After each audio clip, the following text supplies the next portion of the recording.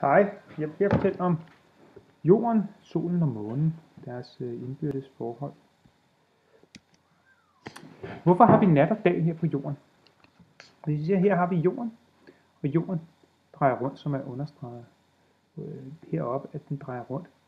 Den ene side, halvdel af jorden her, forestiller det, at det er en cirkel, eller en, en kugle. Så den ene halvdel af jorden, der vender ind mod solen. Solens lys er bare understreget som, som pile, fordi solen, øh, solen er så langt væk, så der er ikke nogen forskel på retningen. Så vi har altså solens lys, der kommer ind i en, en ret linje, og ligesom hvis man tænker som en bold, så er det halvdelen af bolden, der bliver oplyst her i det her tilfælde. Og den anden halvdel ligger så i mørke, fordi der skygger forsiden af jorden. Så det er derfor, vi har dag og nat. Så den halvdel, der ligger over mod solen, den har dag, den, der ligger væk, den har nat. Og så roterer den rundt jorden på et døgn.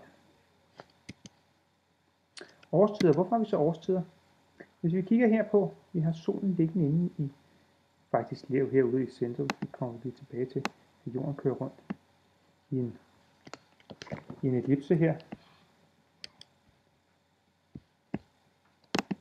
Vi tegner her en gang. rød her, så ligger solen herinde.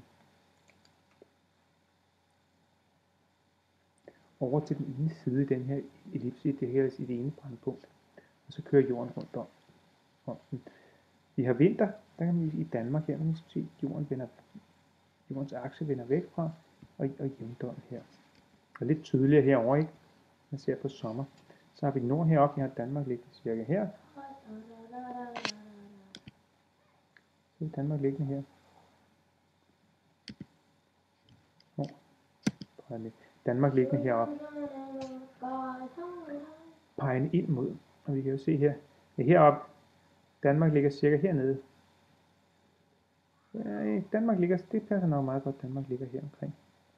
Og så har vi, vi kan se, når vi jorden drejer rundt, det meste af banen er faktisk oplyst. Der er lys på, så derfor er der meget, så meget, der er meget, meget lys. Hvis vi kigger på det lidt, lidt mere, så har vi den igen her. Danmark ligger her får sollys ind på sig det meste af dagen, så dagen er meget lang her. Den linje, der ligger ovenover, det er det, man kalder polarcirklen. Heroppe, der ligger polarcirklen. Og hvis vi kigger på her, selvom jorden kører rundt, så er den faktisk sådan i lys hele dagen. Så over det her, der er lys hele dagen. Der går solen sådan set aldrig ned. Hernede i Danmark, der har vi kun et lille stykke af cirklen rundt på solen, som er i, kommer i mørke.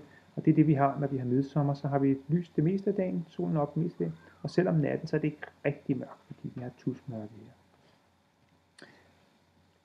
Hvad er det egentlig så, der gør, at vi har, flere sommer og vinter? Dels selvfølgelig, hvis vi stiller os her i Danmark. Når vi har sommer, så kan man se her, så hælder solen jorden ind mod. Og derfor bliver vi hældt ind mod, sådan at vi får mere af lyset ind. Vi får det simpelthen ind i længere tid, så man kan også se her, at solen står højt på himlen. Det kan illustreres her, hvis man har en, en, en lille øh, kvadratmeter, så laver den en lille cirkel her på, en lille kvadrat her på, på jorden, så det er det, den skal oplyse på det tidspunkt.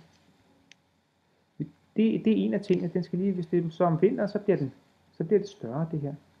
Den anden ting, det er, hvis vi nu har, at når, når solen går igennem atmosfæren, jamen så falder intensiteten, fordi solens lys bliver absorberet. Så vi har her ved ekvator, eller ikke, ikke nødvendigvis ekvator, her hvor solen står vinkelret på. Det er jo ikke ekvator på det her tidspunkt, så er det her, ikke også? Der er bare en kort, kommer herop omkring Danmark, så er den lidt længere, og herop her på Nordpolen, der er den endnu længere. Så vejen gennem atmosfæren, den vokser altså alt efter hvilken årstid det er. Og også med, med øh, hvor, hvor, hvor på dagen.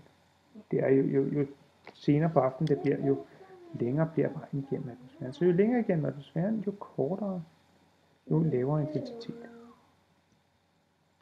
Vendekreds og polarcirkel. Vendekreds, det er jo det, det betyder, hvor højt kommer man op og stadigvæk har solen stående i zenit. Hvis den kommer ind her, så står den i zenit, og det, det er jo ikke på ekvator. Ekvator ligger hernede, men det er fordi jorden vender ind mod solen, så det er sommersolvær lige præcis den 21. juni, hvor jorden vender lige ind mod solen. Og der er den tiltet 23 grader, så det vil sige, det øverste, solen kommer op og står vinkelret ind på, det er 23 grader. Det kaldes den nordlige eller krebsens vendekreds. Så hvis vi går over til, øh, til, til, til at kigge på, øh, på polarcirklen, så kan man se her polarcirklen, hvor langt kommer den ned? Den kommer 23 grader ned på det her tidspunkt her. Så 23 grader, over 23 grader, så bliver det, vi, vi får det, at midnatssolen, at solen aldrig går ned. Det er modsat selvfølgelig om på den sydlige halvkugle, hvor du har, man har en sydlig vindkreds. Tidevand, det kommer fordi månen, den hiver i, i jordens vand på den her side, og den hiver mere i jorden end i vandet på den her side. Så derfor får vi de her to tidevandsbølger. Når solen og månen står på linje, så får vi både tidevandet fra solen og månen. Så derfor får vi en stor flod. Det hedder springflod. Modsat når månen står, står herover i forhold til solen, så får vi nipflod, hvor den ikke er så, så kraftig, fordi der udjævner de lidt hinanden. Så specielt det, når man har månen fra sol, sol og måneformørkelse, eller solformørkelse, så vil det være en kraftig, kraftig tidevand. Månens fase, hvorfor har vi den? Hvis vi har solens lys kommer herover fra, ligesom før, så kører månen rundt om jorden her. Som I kan se, det er altid halvdelen af månen, der er oplyst fra solen, ligesom før med, med, med jorden, både med årstider og døgn. Men forskellen er, hvis vi står her på jorden og kigger, så er det jo nat, når vi kigger, kigger eller så kan vi se, hvor meget af månen kan vi egentlig se, når vi kigger hen mod den. Herfra, der kan vi se, der er ikke noget af månen oplyst. Det der kaldes nymåne. Hvis vi kommer herover, nu er det så tiltagende hernede, herover og kigger på den. Når vi står her for eksempel, ikke, så kan vi se, så er det halvdelen af den, vi kan se herindefra. Halvdelen af den, vi kan se. Vi kommer herover, så hele den del, der vender mod jorden, den er oplyst. Og så tager den aftagen igen, og bliver halvdelen oplyst her. Og månen fortsætter med at aftage helt ned til nymånen, og så begynder det forfra. Solformørkelse, hvordan sker det? Vi har solen her, og den lyser sig ind, hvis vi har månen i stående her. Så blokerer månen strålerne. Og man kan se, at den ene side kan strålerne, det øverste kan komme igennem, det er her. Det nederste, det vil være der. Fra, fra, fra solen, og den er samme fra den anden side her. Så man kan se, imellem her, som står her, så kan der ikke komme noget igennem.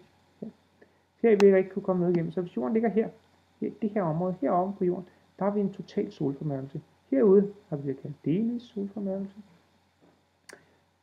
Så det her område, præcis lige her på jorden, der har vi en total solformørkelse, og herude er det der er delvis. Det er lidt fortegnet, fordi det er ikke helt så meget.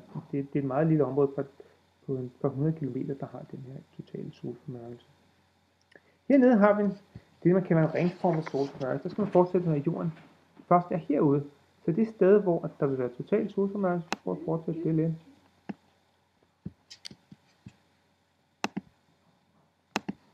Her fortsætter den lidt ud.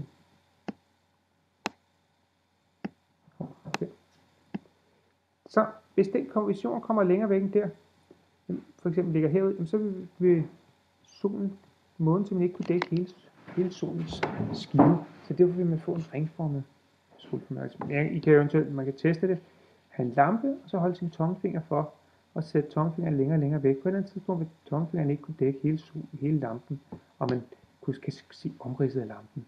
I det her tilfælde det samme som her. Nu kan man se omridset af solen.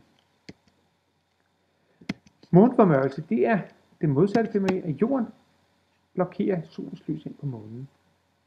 Så kommer månen ind her, og den del af månen, der vender mod solen, og, og, og vi kan se mod månen. Normalt er den, den vil være fuldmåne på det her tidspunkt, kan I, kan I se i forhold til den anden. Og så alt det her, det betyder, at normalt vil det være oplyst, så går månen ind i jordens skygge, og derfor vil der være solformørkelse, måneformørkelse, hvor man ikke kan se månen. Hvis man kigger på den forrige, så var der kun en lille stykke af jorden, hvor man kunne se solformørkelsen. I det her tilfælde vil jo hele den del af jorden, der vender mod månen, kunne se måneformørkelsen. Så derfor er det meget mere almindeligt at have set en, en totalt måneformørkelse end en solformørkelse. Men de er faktisk ens i, i hyppighed. Der, de kommer i par. Når månen har været her og lavet måneformørkelse, så kommer den herover og så er der solformørkelse. Så de kommer faktisk i par. Månen, solformørkelsen er bare kun et lille stykke af jorden, hvor man kan se det. Kepler han lavede nogle love omkring, hvordan jorden og de andre planeter gik rundt om solen. Og den første, det var det elliptiske baner. Og en elliptisk bane, det er, øh, hvor vi har en, det er på en måde fladtryk cirkel, og det man så siger, det er, at solen, den ligger i det ene brandpunkt. Der er to brandpunkter i det her. Der er faktisk også et brandpunkt herovre. I den anden, det siger man, når man skal lave den her.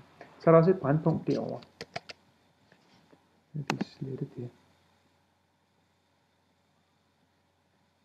Nå, der kunne der være et andet brandpunkt. Men det var, at det var elliptiske baner med solen i det ene centrum. Den næste, det er konstant areal af sted. Og hvad betyder det? Det betyder, at det areal, som solen overskrider i et vist tidspunkt rum herinde, hvis der for eksempel går en måned, før solen overskrider det her areal herinde, så hvis man ser på en måned, når man er langt, længst ude i cirklen, det her areal herovre, så er de lige store, de to arealer. Det areal er lige så stort som det her. Det kan man jo så også se, hvis man ser på hastigheden af planeterne, så vil hastigheden jo være større her, fordi den løber et større stykke buen end herovre. Det er mest udtalt for, for kometer, som kommer meget langt væk fra solen.